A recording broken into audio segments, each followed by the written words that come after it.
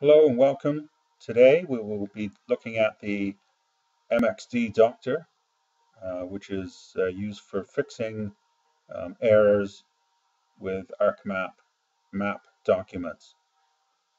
So a couple of weeks ago I had an error like this on opening an ArcMap document, one that I've worked with uh, the day before. Everything was fine. It was a new file. Um, it was working well, but uh, it did get this error message saying it could not be opened. So what I wanted to use was the MXD Doctor as I had used it in the past. So I just wanted to show you that today.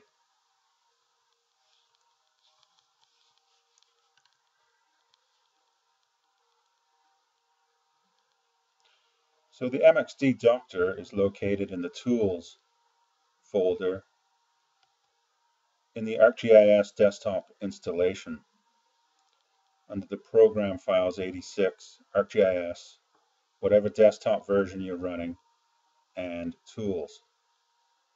So just double click on that to activate it.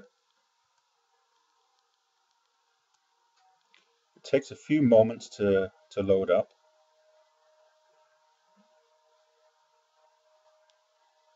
But it's well worth it. This saved me a lot of time having to rebuild the uh, map. And this is an Esri product, so you don't have you shouldn't have to worry about this. You, you can continue. This isn't like a third-party application.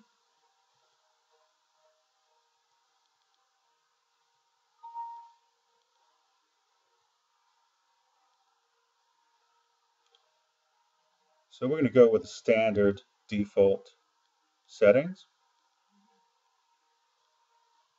and click on the treatment tab and we're going to create just create a new rather than overwriting it the original we can create a new one a recovered one a recovered map document. And again we're just going to go with the uh, standard settings the default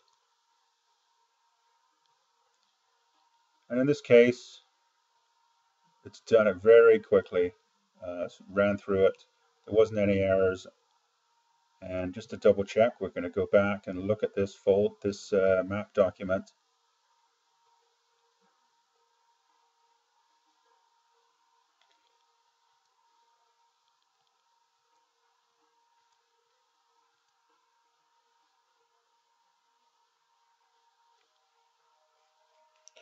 And there it is.